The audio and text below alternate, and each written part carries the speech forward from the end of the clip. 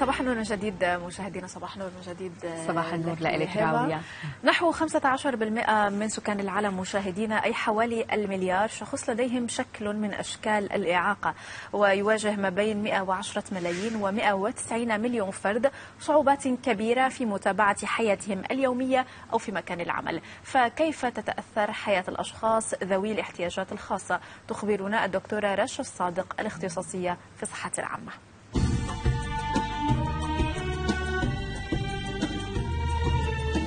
صباح النور صباح النور كيفكم؟ كيف الحال دكتورة الحمد لله بخير كيف يعني أرقام عالية للأشخاص الذين يعانون من صعوبات آه، أو احتياجات خاصة فينا نسميهم أصحاب الهمم أيضا نعم. آه، ما آه، هل ما ما ما الصعوبات التي قد يواجهونها وهل الأشخاص اللي هن بإطار مرحلة الشيخوخة أيضا من ضمنهم؟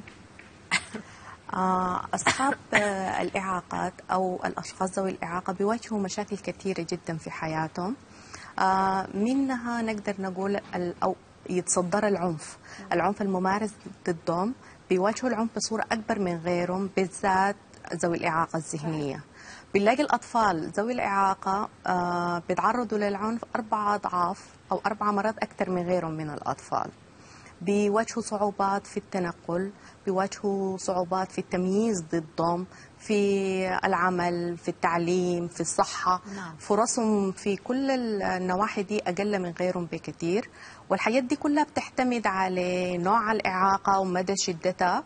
بتعتمد على الفرد يعني في إعاقات بتكون يعني بنتولد بها وفي إعاقات بتكتسب خلال مراحل الحياة فدائما بيكون تقبل الإعاقة ال- من البداية بيكون التقبل لها أكبر والتأقلم معها نعم. دائما بيكون أسرع من ال- المكتسبة وكمان بيعتمد على الأسرة والمجتمع ودعمهم للفرد والبيئة المحيطة به نعم. بالنسبة للشيخوخة والأمراض ال- المزمنة هي في حد ذاتها ما بتعتبر إعاقة نعم. لكن في حالات بحاجة متعلقة. بها أيوة زي مثلا الزهايمر لكبار السن ال- بتر عضو من ال أو بتر قدم مثلا لمريض سكري أو جلطات دماغية لمرضى الضغط المرتفع دي كلها ممكن تؤدي لإعاقات آه، نعم. للصحة.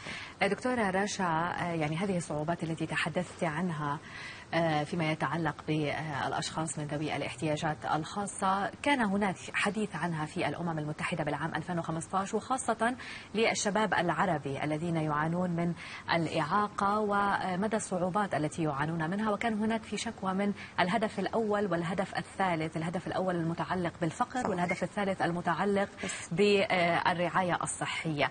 أخبريني إلى أي مدى آه، يعني يمكن في دولنا العربية تخطي مثل هذه الصعوبات؟ التي يواجهها آه، يعني ذوي الاحتياجات الخاصة. كيف يمكن تخطيها وكيف يمكن لهم هم الاعتياد على حياة تكون آه، يعني آه، راقية تكون تقدم لهم أدنى. مقومات الحياة الجيدة؟ في نظرية بتقول إنه الإعاقة مش في الجسد أو مش من الشخص إنه الإعاقة من البيئة المحيطة. يعني مثلا أنا كمقعد إذا لقيت سيارة قيادة يدوية كرسي متحرك كهربائي ال- المؤسسات بالنسبة لي اكسسبل بحيث إنه أنا أقدر أستخدم كرسي لي أبواب واسعة مصاعد دي كلها بتساعد الشخص. الثاني ما في شيء بيعيقه من إنه يكون عضو فاعل في مجتمعه يشتغل ينتج يكون معتمد على نفسه نعم. وممكن كمان إنه يكون بدعم آخرين. فبتبقى إنه البيئة المحيطة بالذات في الدول النامية هي العقبة الأساسية أمام ذوي الإعاقة. بالنسبة لهم بتعيقهم من التعليم زي ما قلتي. وقلنا إحنا التعليم هو المفتاح الخروج من الفقر يعني المفتاح الاساسي للخروج من الفقر. ويعتبر ذوي الإعاقة من أكثر ال- الفئات فقرا في مجتمعاتنا لأنه زي ما قلنا فرصهم في التعليم وفي العمل ضيقة جدا. فكسر دائرة الفقر بيبدأ من التعليم وقلنا توفير فرص لهم للعمل ودمجهم في المجتمع. كمان الصحة بنلاقي عندهم مشاكل كبيرة جدا من ناحية الصحة.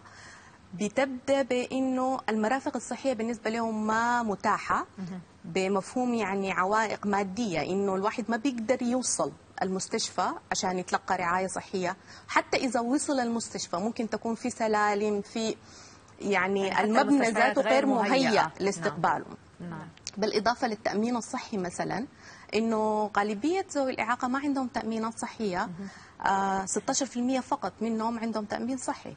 وحتى اللي عندهم تأمين صحي ما بيستغلوا ال- أو بيستخدموا المرافق الصحية لسبب بسيط إنه ما بيقدروا يدفعوا الفرق نعم. أو الكلفة الإضافية للتأمين. في شركات تأمين حتى المعينات اللي هم بتعتبر بالنسبة لهم أساسية بتكون غير مشمولة يعني مثلا تركيب طرف صناعي سماعات للسمع أو غيرها. دي بالنسبة لهم هي أشياء أساسية عشان ما يتمكنوا من إنه يمارسوا حياتهم بصورة طبيعية من غير ما يكونوا معتمدين على شخص آخر لكن بالنسبة لهم بتكون غير متاحة. نعم. ففي الحاجة دي في الدول العربية متجذرة فتقريبا 3% فقط من اصحاب الإعاقة هم اللي بيكونوا مندمجين في المدارس أو مقبولين في مدارس. نعم. الباقيين برا. بما أنه نتحدث عن آه، أصحاب الهمم بعالمنا العربي لا يمكننا أن ننكر بأنه آه، الحروب زادت من أعدادهم بشكل كبير صحيح. نتيجة الإصابات القصف آه، وما إلى ذلك. كيف يعيش هؤلاء؟ وكيف على الوزارات والدول أن تتعامل مع أوضاعهم خاصة بأنه هنالك آه، أشخاص آه، لا تستطيع آه، الأفراد وأنه مساعدتهم أو حتى الجمعيات العالمية يعني مثل الصليب الأحمر الدولي وغيره فعلا الحروب زادتهم آه، بزيادة الإصابات وزيادة حالات العجز بصورة طبعاً. كبيرة جدا جدا فبنلاقي إنه معظمهم حتى اللي كان قبل عنده فرصة في إنه شغال. حاليا ما بيقدر يمارس حياته بصورة طبيعية ما بيقدر يشتغل. فبتزيد نسبة الفقر بالنسبة لهم يعني آه، أكثر من غيرهم بكثير. فالمنظمات ممكن نقول هي الداعمة الأكبر آه، لذوي الإعاقة إذا كانت عالمية أو منظمات محلية. يعني مثلا الأمم المتحدة عملت قانون آه، حقوق الأشخاص ذوي الإعاقة وفي 177 دولة موقعة عليه. لكن على أرض الواقع ما بنلاقي في تطبيق لل القانون ومساواة في الحقوق آه، بالنسبة لهم. نعم. ال- المنظمات بتدعم بأنها بتوفر المعينات يعني زي الكراسي المتحركة وغيرها بتوفرها الأطراف الصناعية أيوه أحياناً. بتساعد في العمليات الجراحية المحتاجينها وغيره بتساعد في ضمانهم ال- توفير ضمان اجتماعي أو آه نقدر نقول تضغط على الحكومات بحيث إنه توفر لهم تأمين اجتماعي ضمانات.